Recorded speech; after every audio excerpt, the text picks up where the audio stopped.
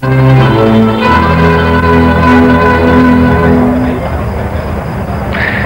and welcome back. You're watching Egyptian Nights and we will continue our show with a new guest and a new topic. We're joined by Dr. Mona Zaki, strategic consultant and regional consultant for the Financial Times. Thank you very much uh, for joining us.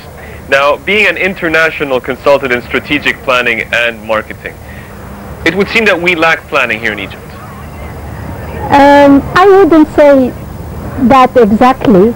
Uh, the idea is uh, we need more of strategic thinking. Which by And what strategic you is- mean long-term. What thinking. is strategic thinking? It's the vision you formulate, Mhm. what you want to be or what your business want to be on the long term, in the future. Yeah. So this, once you formulate a vision, you make a kind of a profile for your company, your business, or even your life, because I believe that strategic thinking is a way of thinking. It's a culture we should really promote in our lives, in our business, in our uh, uh, everyday life, not just on long-term planning. So once you formulate this vision and you make a profile of it, this will lead you to planning. And here comes the strategic planning Okay. after strategic thinking. So you have the strategic planning and you have the operational planning. The strategy and the tactics. They both come after the strategic thinking, which is the vision you really want to formulate for the future of your company or even your life. Okay. Doctor, is it a problem that uh, mainly the objective is not that smart? The objective, It's not smart. um, We don't have like long-term objective and uh, what to achieve now and what and not specified. It's No, not but you, but you know, once you have this vision, because you, you, you really have to sit with the key decision makers and the leaders of the business or the leaders of the, the government or the country or or the leaders of your uh, your own leader of your life you know once you formulate this vision once you you decide and you test and you capitalize on the problems and the opportunities and you have this vision in, formulated so you set your objectives your goals. Are they realistic? Are they feasible? Because you can set unrealistic objectives. And that's where, where when it's really not very smart. You see so you need to study the opportunities. It's very much like the uh, SWOT analysis. You you study your strengths your opportunities you study your threats and you you, you you you see where you fit here and what can be really achieved and what cannot. And sometimes you have a dream that looks unrealistic, but you work so hard in planning, back to planning, and the importance of planning and strategic planning, you work so hard to realize this dream and make it true. So it, there is nothing impossible in life. Okay. It's just it needs a good vision, good planning, good tactics, good implementation, and definitely you will have good results. Yeah. But there's definitely been a shift in terms of how businesses think in terms of their future. There has been positive develop- development. Would you tend to agree with this assertion that Yes. businesses are openly embracing Yeah. this type of thinking, this culture that you were talking about? Absolutely, because now business is more open. Because we live in a uh, globalized uh, business. It's the global uh, economy. So it's the multinational influence. Right. So everything is well exposed, is well open. So once you have this, you're open to more long-term planning, you're open to more strategic thinking, uh, way of thinking. It's a great management tool in such a turbulent, fast changing environment. Unless you have this strategic thinking and this vision, I don't think you can, at least you, you cannot guarantee sustainability because without planning and operational plan, there is no sustainability in the business. So you're absolutely right that the shift now is more into the culture of strategic thinking and strategic planning. Doctor, usually, um, I don't know, but I believe that marketing is something very important and usually have a problem with marketing, actually. Yeah. And when we started to concentrate on marketing, we started to move on to HR because, again, how to apply to be a good marketeer. Yeah. So the idea of marketing is that we can have it like, let's say, uh, something of our daily life. Yeah, you know, it's important for us to understand marketing in order to live, not only to work as marketeers. Yeah, you, you know, marketing, uh, the this famous uh, four P's of marketing. You have the product, you have the place, you have the price, and you have the promotion.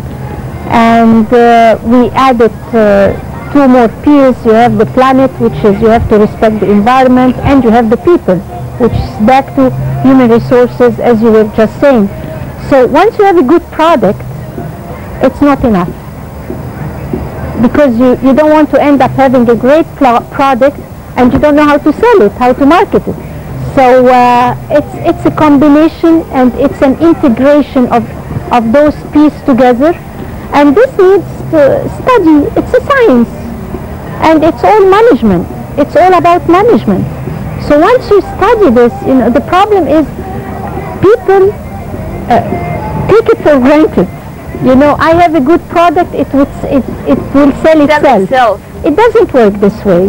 You Not need, anymore. You need consultants to help you. You need the science to help you. You need to study how to market your, your product. Yeah. Okay. In your work as a consultant for the Financial Times, what is uh, what is some of the feedback that you get from them in terms of their interest in investing in Egypt or uh, seeking financial uh, opportunities in the country? You see, the Financial Times, uh, not because I'm the consultant, uh, the regional consultant, but it is the most credible, credible um, newspaper in the world. I, I see it this way. Otherwise, I wouldn't be their consultant, you know. Um, and this where it comes to separate between advertising and editorial. They have, it's a love-hate relationship and they have really a very strong principle here. You, you can have an ad in the paper and on the next page you can be easily criticized. Yeah. They don't go together. So that's a credibility. And what I like about the uh, Financial Times is this uh, Egypt report annually. Uh, they have on each country an annual report. And when it comes to Egypt, it's a great opportunity for the Egyptian government and the Egyptian business people and Egyptian companies and multinational companies that are interested to invest in Egypt. This is a great platform for them to um, to witness the opportunities, to uh, to discuss and analyze the strengths and the weakness of investing uh, in the country. So it exposes Egypt and it puts it on the international map of business, of international business. As a strategic consultant and marketing as well, how do you see the future of marketing and planning in Egypt? Uh, on that note, I would, I'd like to I'd like to add something. Uh, from from what I see in the streets and see in the newspapers and print and so forth, is that the principles of advertising uh, and marketing are not always properly implemented. There's a lot of uh, unregulated, deregulated uh, practices. So that was just to add to her question, and now of course your view and your take on perhaps how can that improve over the next few years. Yeah. You, we need to go back to the code of ethics. Okay. This is what really I, I would love to see more more people sticking to the code of ethics and the principles of mar- of marketing, of advertising, of business in general. But what I see really and would love to see is the integration of those principles into social work Social Into- responsibility. into community service, into, uh, you know, for example, by pure chance, uh, this morning uh, I was discussing with a colleague of mine and a good friend of mine uh, the establishment of a foundation called the Streets of Hope Foundation. This is a terrible problem we have. It's a strategic problem because the we have the street children and we have quite a few of them. It's a big uh, it's a big number of children really are homeless. Strategically in few years they will be adults And what about the future and their influence in the society? Yeah. So if we don't really consider